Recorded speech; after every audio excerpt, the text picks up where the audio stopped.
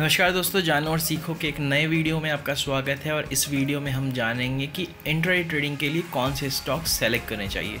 दोस्तों, आप लोग में से कई लोगों ने इस वीडियो के लिए रिक्वेस्ट किया था तो आज मैं ये वीडियो बना रहा हूँ, जिसमें हम, मैं बताऊँगा सबसे पहले तो कि जो आप इंट्राडे ट्रेडिंग के लिए स्टॉक सेलेक्ट करते हैं, उनकी क्या प्रॉपर्टीज़ होनी चाहिए, वो कैसे स्टॉक होने चाहिए। और इसी वीडियो के सीरीज़ में कई वीडियो और मैं लाऊँगा, जिसमें मैं बताऊँगा डिफरेंट तरीके जिससे हम स्टॉक को सेलेक्ट कर सकते हैं इंटरडे ट्रेडिंग के लिए।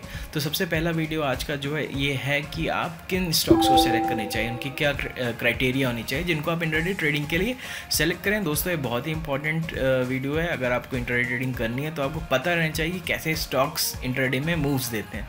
उसके पहले एक स्टैंडर्ड डिस्क्लेमर कोई अगर मैं स्टॉक का नाम लेता हूँ तो वो एक केवल रेफरेंस पर्पज़ से है। कोई भी इन्वेस्टमेंट के पहले आप अपने एडवाइज़र से ज़रूर कांटेक्ट करें।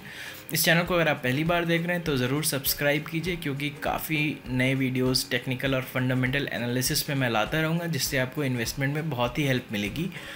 तो दोस्तों चलिए जानते हैं कि हम इंट्राडे में कौन से स्टॉक्स को सेलेक्ट करते हैं। काफ़ी लोग इस बात में कंफ्यूज रहते हैं कि भाई इतने स्टॉक्स हैं, रोज़ कोई स्टॉक मूव देता है, रोज़ कोई स्टॉक मूव देता है तो आखिर हम किस स्टॉक को इंट्राडे में सेलेक्ट करें?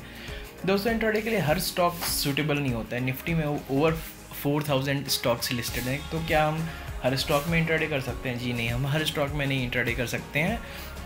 इंट्राडे मूवमेंट की जो डायनमिक्स है, वो कुछ ही स्टॉक सेटिस्फाई करते हैं। और हमें उन्हीं स्टॉक्स को सेलेक्ट करना चाहिए। और एक और जो बहुत ज़रूरी बात है कि हमें किसी भी स्टॉक में मूवमेंट देख के नहीं घुसना चाहिए बट हमें ट्रेड सेटअप का वेट करना चाहिए।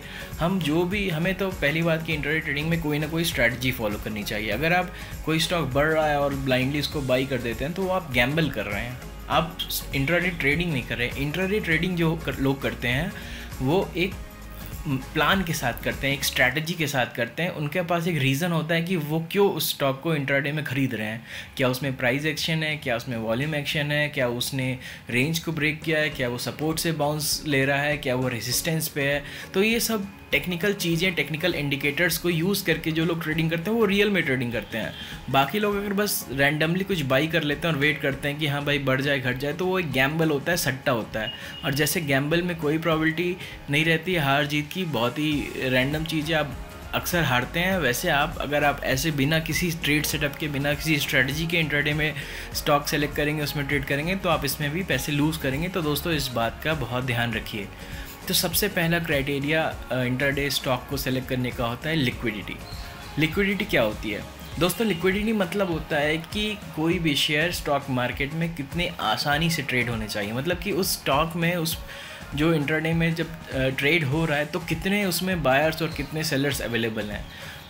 कह लीजिए दोस्तों इसको इस तरह से आप देख सकते हैं कि आ, जैसे कि कोई अगर स्टॉक है अगर मान लीजिए उसमें वॉल्यूम ही नहीं है दिन में। मतलब कि एक दिन में केवल पाँच हज़ार शेयर उसके कुल मिला के ट्रेड हुए हैं। तो इसका मतलब आप इंटरडे में उसमें क्या कमा सकते हैं? आप एक हज़ार का अगर आप मार्केट ऑर्डर लगा देंगे तो वो बहुत ही ऊपर जाके एक्सक्यूट हो जाएगा और आपका बाई प्राइस बहुत आ जाएगा। तो उसमें लिक्विडिटी नहीं है। लेकिन आप कोई लार्ज कैप उठाइए, जैसे टाटा मोटर्स उठाइए या एफ़ के स्टॉक्स उठाइए, उसमें क्या होता है कि उसमें हाई लिक्विडिटी होती है। उसमें कई बायर और कई सेलर होते हैं। तो आपके पास अगर ज़्यादा क्वान्टिटी भी आ गई तो आप उसको सेल कर सकते हैं मार्केट पे भी बिना बहुत ज़्यादा डिफरेंस लाए हुए प्राइस के, क्योंकि आप टाटा मोटर्स का एक लॉट या दो लॉट सेल कर देंगे सपोज़ आप फ्यूचर्स में तो ये नहीं कि वो दो रुपये या तीन रुपये नीचे चला जाएगा। लेकिन अगर आप इलिक्विड शेयर जिसमें कम बायर्स और सेलर्स हैं, उनको करेंगे तो उसमें चला जाएगा। तो दोस्तों लिक्विडिटी बहुत ही इंपॉर्टेंट मैटर है। अगर आप किसी शेयर में लिक्विड शेयर में ट्रेडिंग करते हैं तो आपके चांस बहुत अच्छे हैं कि आपको प्रॉफिट मिले। लेकिन इलिक्विड शेयर में आप घुसेंगे तो हो सकता है आपको कभी फ़ायदा भी हो जाए, लेकिन आपको जब ब्रेक इवन करना पड़े या वो सडनली गिरने लगे और आपका स्टॉप लॉस ट्रिगर हो तो जब आपका मार्केट ऑर्डर पर एक्सक्यूट होगा तो बहुत नीचे एक्सक्यूट हो जाएगा, उसमें बहुत आपको लॉस हो जाएगा। तो किसी भी पॉइंट पे डे में जो भी आप स्टॉक सेलेक्ट करने उसमें बहुत ही हाई नंबर ऑफ़ बायर्स से सेलर्स होने चाहिए। तो जैसे आप बिड आस खोलते हैं एन पे, उस साइट उस स्टॉक का आप खोलते हैं डिटेल तो उसमें लिखा रहता है बिड एंड आस्क स्प्रेड तो उसमें number of orders number of buyer और नंबर ऑफ़ क्वांटिटी सब दी रहती है, वो ज़्यादा होना चाहिए. तो ये चीज़ एक इंपॉर्टेंट चीज़ है लिक्विडिटी स्टॉक में बहुत होनी चाहिए. दूसरी चीज़ है वॉलेटिलिटी क्या होता है. वॉलेटिलिटी मतलब होता है कि उस स्टॉक में क्या मूवमेंट आ रहा है दिन में.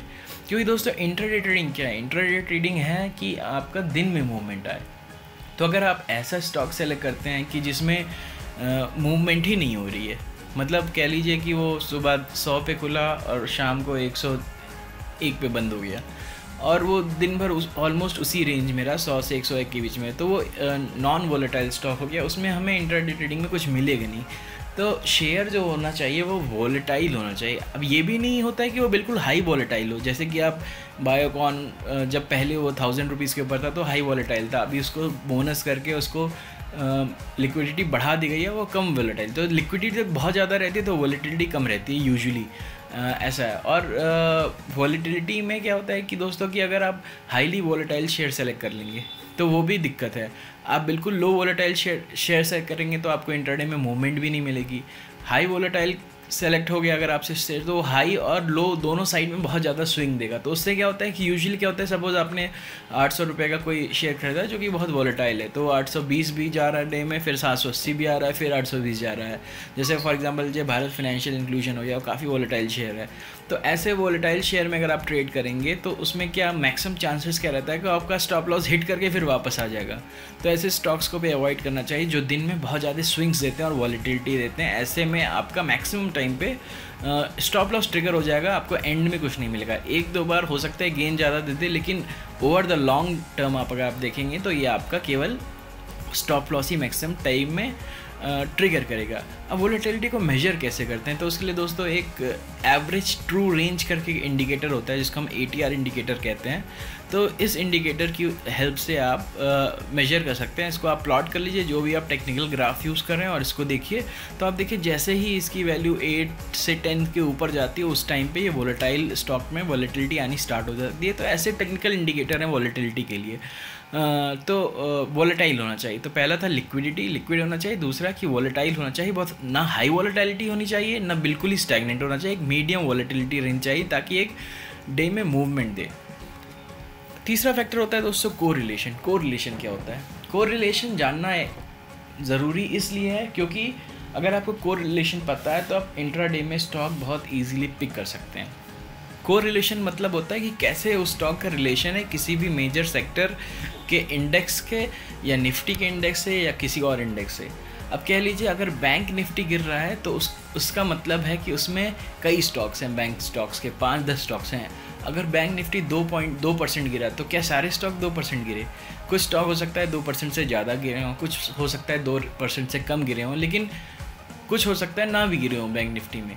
तो जो स्टॉक्स हैं, हर स्टॉक का एक कोरिलेशन होता है, जिसे हम कहते हैं बीटा फैक्टर तो वो बीटा रिप्रेजेंट करता है कि वो स्टॉक मार्केट के मूवमेंट या इंडेक्स के मूवमेंट के साथ कैसे मूव करता है। जैसे फॉर एग्जांपल ले लिए एच डी आई एल एक स्टॉक है। अगर वो निफ्टी डाउन हुआ तो एच डी आई एल हमेशा डाउन रहता है, निफ्टी अप हुआ तो H D I L up रहता है। तो वो हाई बीटा स्टॉक हो गया मार्केट से कोरिलेशन उसका ज़्यादा है।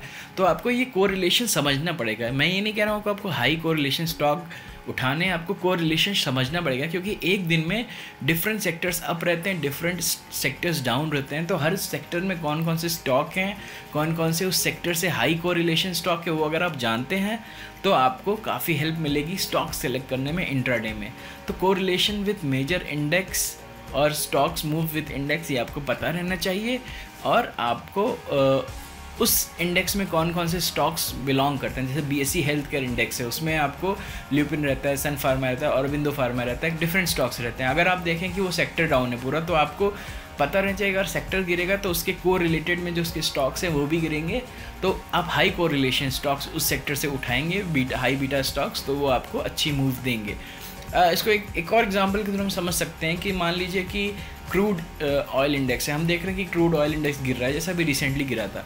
तो अब हमें पता है कि क्रूड जब भी गिरता है तो एविएशन सेक्टर को हमेशा फ़ायदा मिलता है पेंट सेक्टर को फ़ायदा मिलता है। क्यों? क्योंकि क्रूड ये यूज़ करते हैं अपने प्रोडक्ट्स बनाने में। तो एटीएफ के दाम गिरेंगे तो एविएशन सेक्टर को फ़ायदा होगा। तो ये कोरिलेशन हो गया, ये इन्वर्स कोरिलेशन है कि क्रूड गिरेगा, एक इंडेक्स है जो क्रूड इंडेक्स है। अगर क्रूड इंडेक्स गिरेगा तो एविएशन सेक्टर फ़ायदा होगा। तो हम नेक्स्ट डे में एविएशन सेक्टर के स्टॉक उठा सकते हैं। तो को रिलेशन का भी आपको आइडिया जानना ज़रूरी है दोस्तों। तो ऐसे ही आप वीकनिंग रुपी जो होता है, इसका मतलब वो आईटी सेक्टर में काफ़ी इंक्रीज़ होता है। क्योंकि आईटी सेक्टर में और फार्मा सेक्टर में एक्सपोर्ट होता है मेनली तो जो जिस सेक्टर में ज़्यादातर एक्सपोर्ट होता है पैसों का मतलब प्रोडक्ट्स का तो अगर रुपी वीकेन हुआ तो मतलब जितना रुपी कमज़ोर हुआ, उसको उतना ज़्यादा फ़ायदा होगा। जैसे सिक्सटी फाइव रुपी है और कल मान लीजिए सिक्सटी सेवन हो गया तो जो एक्सपोर्ट करें उनको दो रुपये का सीधा फ़ायदा हो गया, जो उनके टॉप लाइन और बॉटम लाइन में ऐड हो जाएगा। तो रूपी पे जो आप ध्यान रखिए तो अगर रूपी स्ट्रांग हो रहा है वीक हो रहा है तो उसके करस्पॉन्डिंग जो रिलेशन वाले स्टॉक्स हैं डायरेक्ट इनडायरेक्ट जो भी हैं, उसका भी आपको आइडिया होना चाहिए। तो ये आपको आइडिया रखना चाहिए, आपको समझना चाहिए। चौथी बात होती है दोस्तों कि आपको स्टॉक्स को हमेशा डाउन ट्रेंड या अप ट्रेंड के हिसाब से ही ट्रेड करने चाहिए अगर आपको मार्केट में पैसा बनाना है। आज का एग्जांपल ले लें, आज Nifty almost sixty seventy point correct हुआ, लेकिन कई लोग मैंने देखा स्टॉक्स बस खरीद रहे थे और एंड में उनके स्टॉप लॉस ट्रिगर हो गए जब लास्ट में बहुत बड़ा निफ्टी में फॉल आया। और वो एग्ज़िट हो गए। लेकिन अगर लोगों ने ट्रेंड के साथ निफ्टी को शॉर्ट किया होता स्टॉक को शॉर्ट किया होता तो उनको आज फ़ायदा होता। तो दोस्तों, हमें ये पता रहना चाहिए कि स्टॉक्स जो हम ट्रेड कर रहे हैं, वो अगर कोरिलेशन में है इंडेक्स और इंडेक्स डाउन ट्रेंड में है तो हम उन्हें डाउन ट्रेंड में ही रखेंगे हम उन्हें शॉर्ट करेंगे, ना कि हम लॉन्ग करेंगे। अगर हमें लॉन्ग करना है तो हम वेट करेंगे। ऐसे ही दोस्तों, अगर मान लीजिए हम बुल रन में हैं तो अब कोई स्टॉक अप ट्रेंड में और हम उसको शॉर्ट कर दिए तो हमें वहाँ भी नुकसान होगा। तो हमेशा इंट्राडे में हमें जो इंट्राडे ट्रेंड हो रहा है या शॉर्ट टर्म जो ट्रेंड है मैं लॉन्ग टर्म ट्रेंड की नहीं बात कर रहा हूँ। हम since we are talking about intraday stocks हम बात करें पंद्रह दिन के ट्रेंड के। सो so, पंद्रह दिन का जो लास्ट फिफ्टीन डेज़ का ट्रेंड है उसको हम देख के ही अपने को ट्रेड कोई भी ट्रेड लेना है। और वो एक ट्रेंड में होना चाहिए अप ट्रेंड या डाउन ट्रेंड फॉर एग्जांपल दोस्तों आप यहाँ देखिए कि इस पॉइंट पे इस पॉइंट से लेके इस पॉइंट तक सपोज़ ये दो, दो दिन का अगर ये इस पॉइंट से इस पॉइंट तक ग्राफ रहता तो यहाँ पे एक साइड वे ट्रेंड में आप देख सकते हैं। कोई क्लियर ट्रेंड इस्टेब्लिश नहीं हुआ है। तो जब वो साइड वे ट्रेंड में, दोस्तों तो इसमें साइड वे ट्रेंड में अगर आप स्टॉक्स को लेंगे तो आपका बस यही होगा कि आपका स्टॉप लॉस ही ट्रिगर होगा, क्योंकि थोड़ा ऊपर जाएगा, फिर नीचे जाएगा तो आप जिस तरफ़ भी ट्रेड लिए वो आपका स्टॉप लॉस ट्रिगर होगा। लेकिन आपको एक, बार एक इंडिकेशन मिल गया कि भाई हाँ एक अप ट्रेंड स्टार्ट हो गया है। हाइयर हाई हाइयर लो मार रहा है हाइयर हाई और लोअर लो मार रहा है सब। तो ऐसे एक अप ट्रेंड अगर आपको स्टैब्लिश हो गया, उसके बाद आप स्टॉक को ट्रेड करते हैं तो आपको बहुत चांस होता है हाई चांस होता है प्रॉफिट का। तो मतलब आपको एक ट्रेंड के साथ जाना है, केवल साइडवेज और चॉपिंग मार्केट में आपको जो स्टॉक्स कोई ट्रेंड नहीं दिखा रहे, उनको अवॉइड करना है। और ऐसे ही अगर हम बियर फेस में सपोज़ निफ्टी आज बहुत डाउन ट्रेंड में था शुरू से गिर रहा था तो हम रैदर देन बाई करना हमें शॉर्ट साइड पे रहना चाहिए। तो ट्रेंड को फॉलो कीजिए जैसे आपको ट्रेंड आ, का साइन मिले रिवर्सल का अपना कीजिए कि आप आज ट्रेंड रिवर्सल हो जाएगा इस उम्मीद पे आपने शॉर्ट कर दिया। आपको एक बार फ़ायदा हो सकता है दो बार फ़ायदा हो सकता है लेकिन अगर आपको सालों दर सालों कंसिस्टेंटली ट्रेड करके प्रॉफिट बनाना है तो आपको ट्रेंड वाले स्टॉक्स ही सेलेक्ट करने चाहिए। तो ये हो गया ट्रेंड के बारे में। और आखिरी पॉइंट दोस्तों, जिस पे मैं स्ट्रेस करता हूँ और मैं करूँगा कि आपको की डेट्स हमेशा पता रहने चाहिए। फॉर एग्ज़ाम्पल ले लीजिए आरबीआई पॉलिसी है। तो आरबीआई पॉलिसी किसी दिन आने वाली है। उस दिन आपको पता होना चाहिए कि मार्केट में हाई वॉलिटिलिटी रहेगी और आपका जो स्टॉप लॉस होगा, उस हिसाब से रहना चाहिए। आपका स्टॉप लॉस डीप रहना चाहिए, चाहे वो आप बाई साइड पे चाहे शॉर्ट साइज़ साइड पे हैं। और दोस्तों, आपका मतलब कि रिस्क भी उस समय हाई रहना चाहिए। तो या तो आप ट्रेड ही मत कीजिए, उस दिन आपको पता है बहुत हाई वॉलिटिटी रहेगी। आप अपने रिस्क के हिसाब से अपना तो स्टॉप लॉस एडजस्ट कीजिए। अगर आपका वो स्टॉप लॉस नहीं बैठ रहा है तो आप ट्रेड मत कीजिए। ऐसे ही दोस्तों, जो स्टॉक्स में रिज़ल्ट सीज़न होता है तो वो रिज़ल्ट सीज़न जो आने वाला होता है तो या बोर्ड मीटिंग्स होने वाली होती हैं कई कंपनियों की तो वो सब डेट्स भी जिन स्टॉक्स में आप ट्रेड करना चाहते हैं, वो आपको आइडिया रहना चाहिए। तो आप सुबह नेक्स्ट डे के पहले नेक्स्ट ट्रेडिंग डे के पहले शाम को थोड़ा रिसर्च कर लीजिए कौन से नेक्स्ट डे में की की डेट्स हैं किसका रिज़ल्ट आने वाला है, अगर क्या नहीं आने वाला है। क्योंकि ये सब दोस्तों होते हैं जिनके डेट्स जिन पे बहुत हाई मूवमेंट हो जाता है। रिज़ल्ट किसी का आया, उसके तुरंत बाद एक वॉलिटिलिटी आती है डाउन साइड या अप साइड में तो उसमें अक्सर क्या होता है, लोगों का स्टॉप लॉस ट्रिगर हो जाता है। वो भले ही थोड़ा ऊपर जाके वापस नीचे ही क्लोज हो, लेकिन आपका स्टॉप लॉस ट्रिगर कर देगा। इसलिए उन डेट्स को आप ध्यान में रखिए और उस पर अवॉइड कीजिए ट्रेड करना। ट्रेड अगर करना है तो आपका स्टॉप लॉस डीप होना चाहिए, उसके अकॉर्डिंगली होना चाहिए। ऐसे दोस्तों सपोज़ किसी स्टॉक का रिज़ल्ट आने वाला होता है तो वो से वो स्टॉक पाँच दिन तक बहुत गिर गया अब उसका नेक्स्ट थ्री डेज़ में रिज़ल्ट है। तो उसको आप अगर शॉर्ट कर देंगे तो काफ़ी लाइकली है कि रिज़ल्ट के एक्सपेक्टेशन में वो थोड़ा बाउंस बैक दिखाए और आपका स्टॉप लॉस हिट हो जाए। तो दोस्तों, ये सब की डेट्स भी आपको पता रहनी चाहिए कि उस रिज़ल्ट क्या आना है, कोई उस स्टॉक का रिज़ल्ट तो नहीं है। तो आपको उस स्टॉक के बारे में थोड़ा बहुत आइडिया होना चाहिए। तो दोस्तों, ये कुछ ऐसी चीज़ें हैं जिनको आपको पता रहना चाहिए कोई भी स्टॉक सेलेक्ट करने के पहले इंटरनेट ट्रेडिंग में। अगर आप लिक्विडिटी को ध्यान में रखेंगे वॉलीटिलिटी को ध्यान में रखेंगे ट्रेंड को ध्यान में रखेंगे और ऐसे स्टॉक्स को सेलेक्ट करेंगे तो आपको फ़ायदा होगा। अब इन स्टॉक्स को सेलेक्ट कैसे करना है, ये मैं आपको बताऊँगा नेक्स्ट वीडियो में। इन, इस तरह के स्टॉक को सेलेक्ट करने के कई तरीके हो सकते हैं और मैं कई स्ट्रैटेजीज़ आपको आने वाले वीडियोज़ में बताऊँगा। आप चैनल को सब्सक्राइब कीजिए और उन वीडियोज़ को मिस मत कीजिएगा। तब तक के लिए मिलते हैं नेक्स्ट वीडियो में। जय हिंद, जय भारत।